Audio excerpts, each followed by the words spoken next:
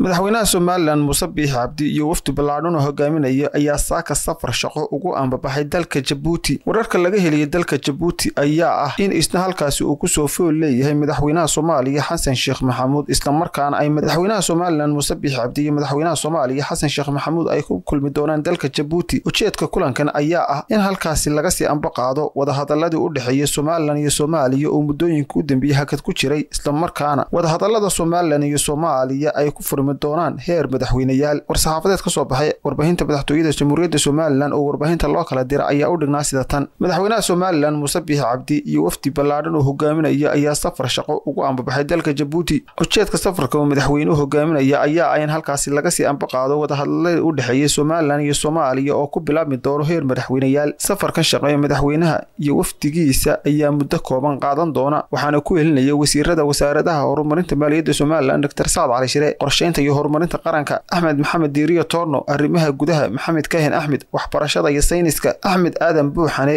iyo ergeyga gaarka ee somalilan u qaabilsan wadahadalada somalilan iyo soomaaliya marwe adne aadan ismaaciil oo iyadoo dalka jabuuti kaga sii horreysa wafdigan madaxweynaha. Allah mahadle agaasimaha warbaahinta madaxtooyada jamhuuriyadda somalilan naasir yuusuf daahir farsame siciid cali wararka warbaahinta s b c magaalada hargeysa.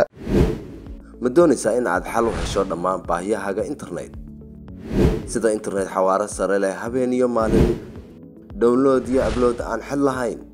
Daawashada ciyaaraha taxanaha musalsalada oo aad ku daawan karto internet tayo sare leh. Internet ku filan dhammaan baahiyaha shaqadaada.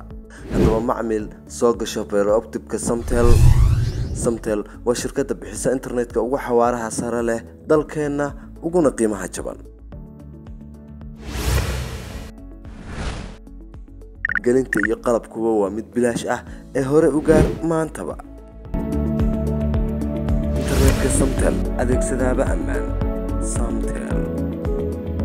Adeegga sahan waxa uu kuu fududaynayaa ogaanshaha fursadaha shaqo ee ka bannaan dalka adigoo kala socon kara lambarkaaga goliska haddaba macmiil maantaba iska duwangeli adeegga sahan garaac xidig boqol sideetan iyo saddex afar gees. Kadib dooro lambar hal oo ah furo adeegga hambalyo macmiil waad ku guulaysatay furashada adeegga sahan maasha allah soo dhowaada. La jaanqaad shirkadda telesom. Maxmil waxay kuu diyaarisay adeegga internetka ay faibar optiga. Kaasoo xawaarihiisu kala go' lahayn. Waa guji waa ishaa biligteeda. Intuu soo gudlanayo hadalba gam hagarle ii ku isticmaal sochial midiyaha kuna daawo wararka cayaaraha iyo onlaine geemiska haddaba maxmil soo gasho gurigaaga xafiiskaaga iyo goobtaada shaqo fadlan nagala soo xidhiidh nambarka gaaban